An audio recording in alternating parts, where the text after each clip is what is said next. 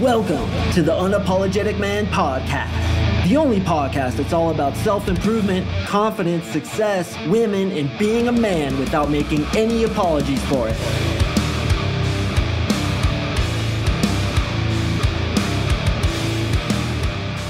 What is up, you champions? Thank you for tuning in to another episode of the UMP. Happy Monday. I hope the weekend treated you well. And today, we are going to talk about whether you should go for her phone number, her Instagram, and what to do in each situation depending on which one you get. I am going to go over a lot of information today, much of which you've heard before, but it's really important that you guys understand this critical element of attracting and seducing a woman because this is one of the most important parts of your quote unquote seduction process. So I'm going to go over all that today. I have a lot of really good information. And gentlemen, make sure to stay tuned until the very end because I have a huge announcement to make. You guys all want to hear this. You are going to get access to me personally in this all important announcement. So make sure to stay tuned until the end, not only for that, but because I got a lot of really good information to drop. Some of you may have heard that I did get into a gigantic mountain biking crash on Monday. Right now, I'm recording this on Saturday.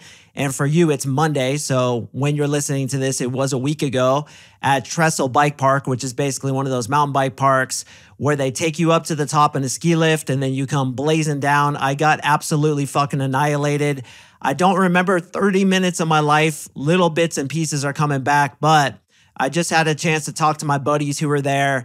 And there's a few funny stories. I'm going to tell those and then I'm going to get into the content.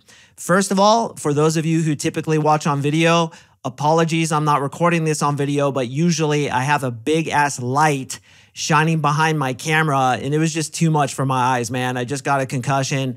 The shit was giving me a headache within 20 seconds. So I was like, yo, I'm just to do audio today. Starting on the next podcast, I should be able to do video, but that's why you're not seeing me on video. Second thing is, and this is really funny, when I got my concussion, my buddy grabbed a doctor because I happened to crash somewhat close to the urgent care on the mountain. So he ran in there, grabbed a doctor, and she came and talked to me. It was 20 minutes after the crash that she was interviewing me. And that's my first memory is her just asking me random questions. But while she was interviewing me, she asked me, Do you remember what you had for lunch? And I said, I'm going to need some more time to answer that question. Next question, please. And everybody was laughing. And I'm laughing about it too because I'm always negotiating, I'm always controlling that frame. What I should have said is the real question is, do you remember what you had for lunch? And turn it around on her. But obviously, I didn't remember. It wasn't until later that I started getting my memories back, as I said.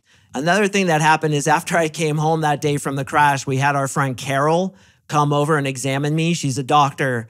And about two hours later, my woman Marissa and my daughter Lucia were playing outside. And I walked outside, sat on the little bench we have on our patio, and I looked at her and I was like, did Carol come over today?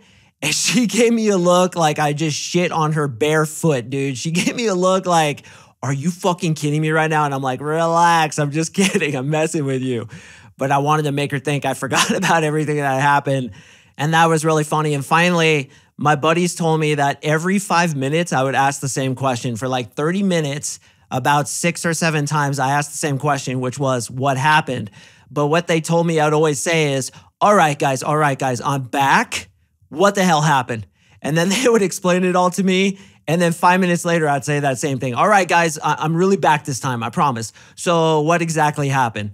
Anyway, my headache is finally going away. I'm still just a bit dizzy. And on Monday, when you're listening to this, I'm going to go see an orthopedic surgeon about what happened to my back. I think I just bruised some ribs or perhaps maybe even fractured some because just really fucked up in my left ribs.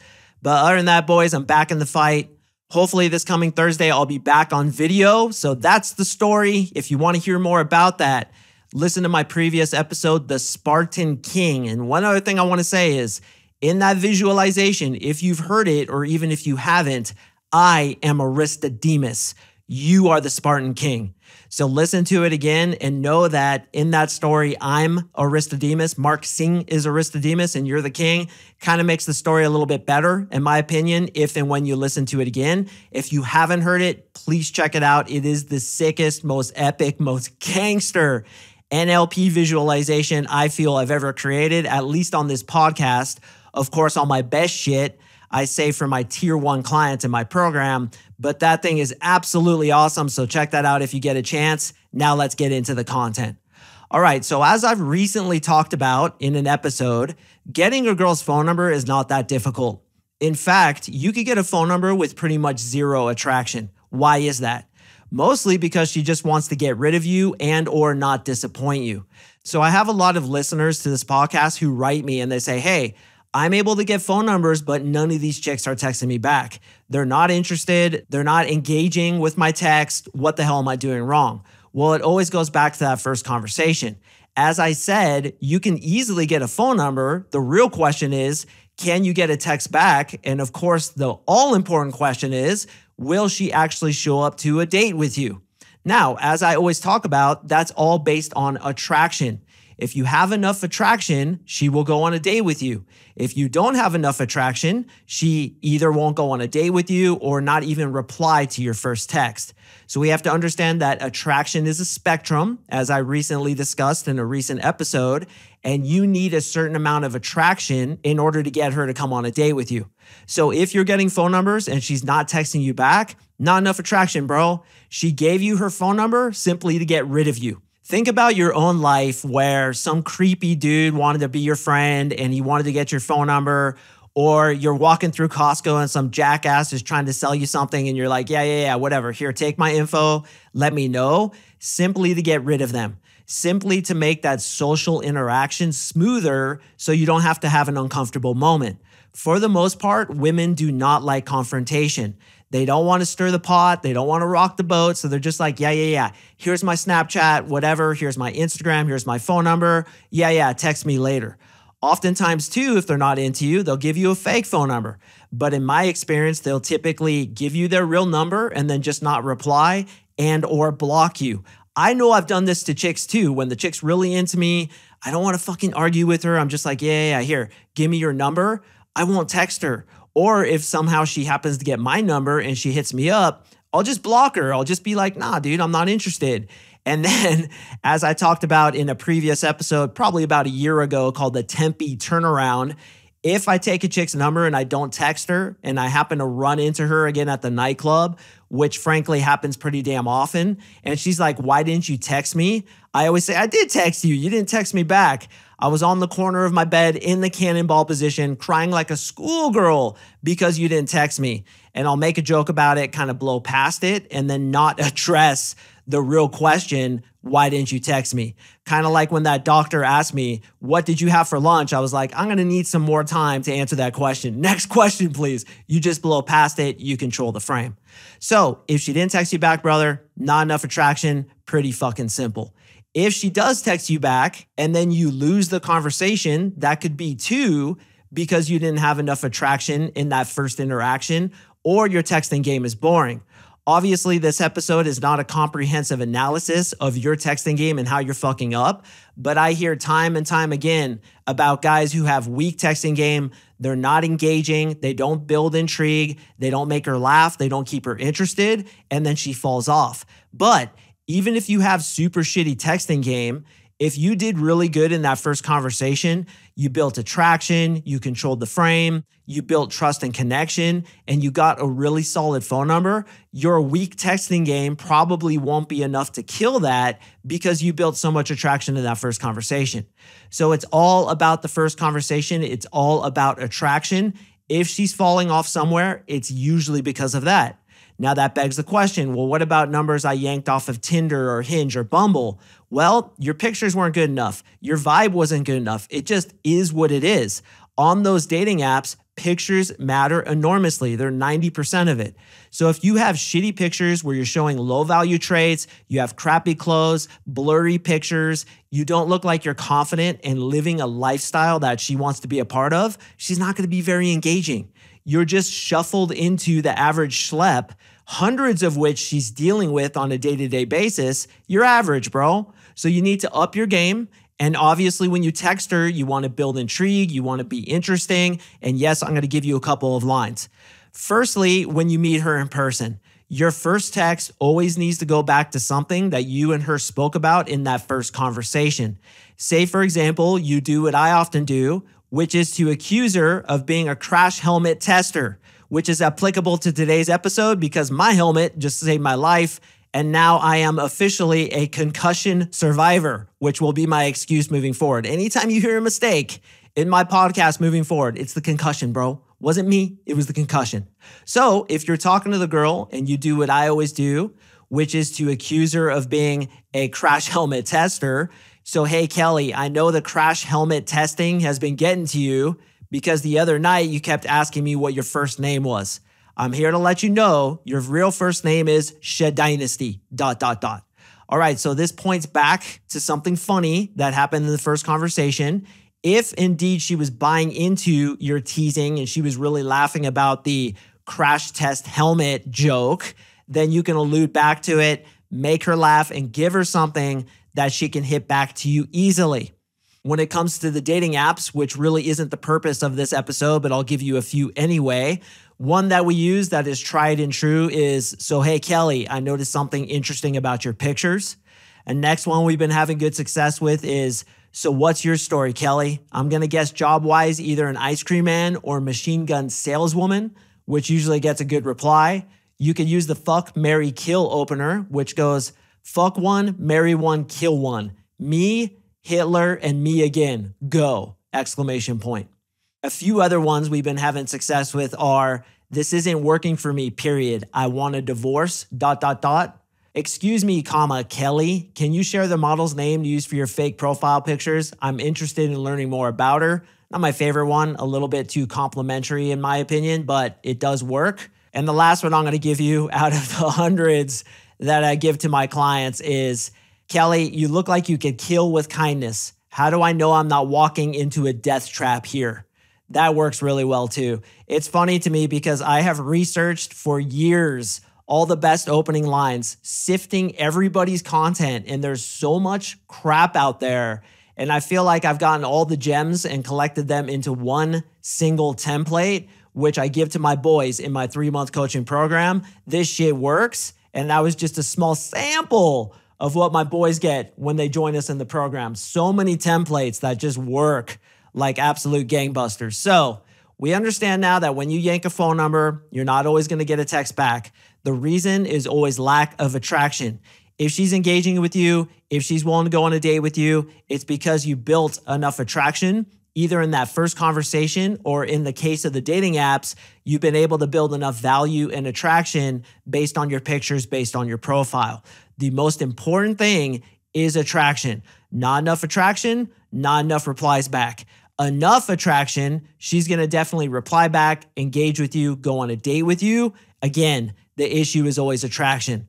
All right, now we go into Instagram.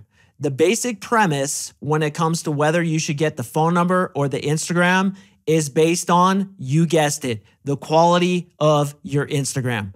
If you have an Instagram that shows a high value lifestyle, shows pre selection, and if you don't know what pre selection is, I strongly suggest you search my name as well as the keyword pre selection or jealousy plot lines to learn all about it. If you have pre selection, high value pictures, pictures that show scarce resources, pictures that show you're basically a tier one dude that other dudes are trying to be like on your Instagram, then you should exchange Instagrams with her every day of the week and twice on Sunday. When my Instagram was pinned back before I settled down with my woman, Marissa, that's all I used. I hardly ever got phone numbers because I wanted her to see my Instagram. Why? Because it's basically a high value pellet that you stick into a dog treat and shove down her throat.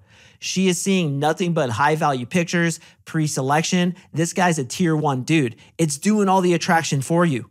Now, there's many programs out there that say, hey, I'm going to teach you how to have a tier one Instagram where girls are going to get attracted to you. My question is, what are you going to do when you get that chick on the date?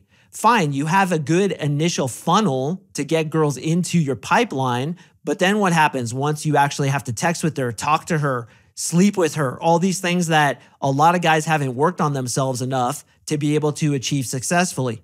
They think that I'm just going to set up my Instagram and it's going to get me laid. Bullshit. Instagram is one element of an entire structure where all your seduction elements have to be in place. Most importantly, what's going on inside your head. Unfortunately, you can't just set up a sick Instagram and then girls just show up at your door, get naked, jump in the air, and slide onto your dick. It's not how it works.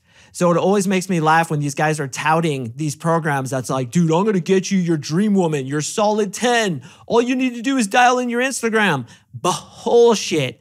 You need to work on yourself. You need to fix the bullshit in your head. You need to get game and frame, which is exactly what I teach. Now, combine my program with a solid Instagram, whether or not you got that through another program you purchased doesn't matter. Now you're cooking with white heat you are getting the results because your Instagram is dialed and your game is dialed. So, would I rather get the phone number or the Instagram? That answer that I hate hearing in Brazilian Jiu Jitsu, as well as a bunch of other sports, is it depends. It depends on how dialed your Instagram is, how many followers you have. Are you showing high value? Are you showing scarce resources? Are you showing pre selection, you with other hot girls? If you have that, Instagram every day of the week and twice on Sunday. If Marissa broke up with me today, this is what I'd do. I'd get all my hot girlfriends. I'd go out for a couple weeks and take 55,600,031 pictures and post them all to my Instagram. I would show scarce resources, me next to a helicopter or sitting on the hood of a Lamborghini, which I know sounds try hard, but if you show those scarce resources, meaning you are a man who has access to those things that everybody wants access to helicopters, certain hotels, trips to Dubai. You hike to the top of beautiful mountains, and it's just you out there with a mountain all alone in nature. Seems like you need a lot of money to do this, but you don't. You just need a strategy to set up a story, boys. And that's what Instagram is it's a storyboard of you and your high value you with really hot girls, not touching them, not making out with them. In fact, you're just standing there and hopefully they're touching you. This is the way to portray high value. So in the conversation, you're like, hey, it was cool talking to you. I got to get back to my friends. Do you have IG?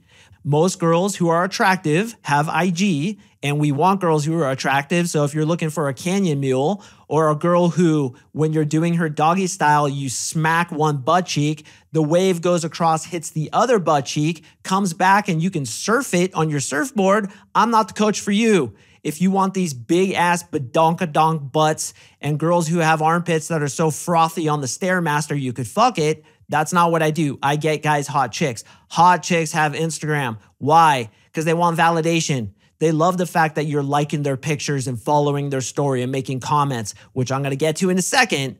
That's why hot girls are on IG. They're all there, brothers. So, my strategy would be dial in my IG, take pictures with all my hot girlfriends, show that high value, even buy followers if I have to. If I'm starting with like 231 followers, I might actually buy followers, which you can do. Don't email me about it, just figure it out yourself. You can buy followers. I would suggest at least a couple thousand followers. Then, boom, I'm getting Instagrams every day of the week and twice on Sunday. Then what happens?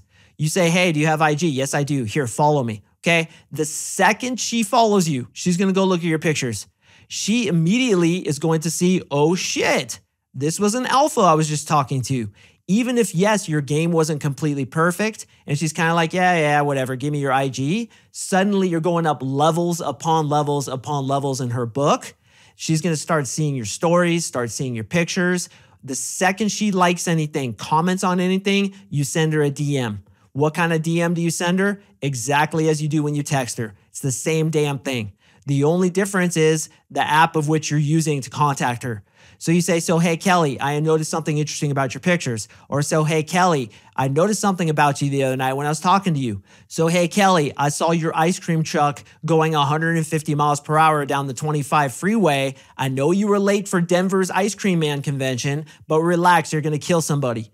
Then she DMs you back. If and when the time is right, you move it over to texting just for the sake of convenience, because texting is a little bit easier. And now you get her on the date. What just happened? Your Instagram is doing all the work for you. So, what's better to get, the phone number or the Instagram? Well, that answer that is very annoying, I'm going to use here. It depends. If you have your Instagram dialed in, Instagram every day of the week. If you don't have a dialed Instagram, then go for the phone number. Some coaches will tell you that the phone number is harder to get because people feel that the phone number is kind of closer to them and they're more defensive about who they're going to give it to. So if you get the compliance by getting the phone number, you might have a higher chance of getting text back. But for all you listening who have not gotten text back many times when you've texted chicks, you know that's bullshit. Yeah, I got her phone number, but she just blocked me. That didn't really work. So if I had the choice between the two, Instagram every day of the week and twice on Sunday, but it has to be dialed. If you have a picture of you driving your mom's AYSO soccer van with AYSO soccer mom sticker on the back, or a family of Ewoks on the back of your car showing what a happy family you are, and you're like one of the little Ewoks back there, don't post that shit. It's all about portraying high value. In today's age, boys, I want to tell you something really interesting. In today's age, it's all about the illusion of value. Do you know that there's fewer hot women in the nightclubs on a Friday and Saturday night than there used to be when I was coming up in the game in the early 2000s? Why is that? Because chicks can get their validation from Instagram. All they have to do is post pictures of themselves. They don't even need to go out anymore to get validation.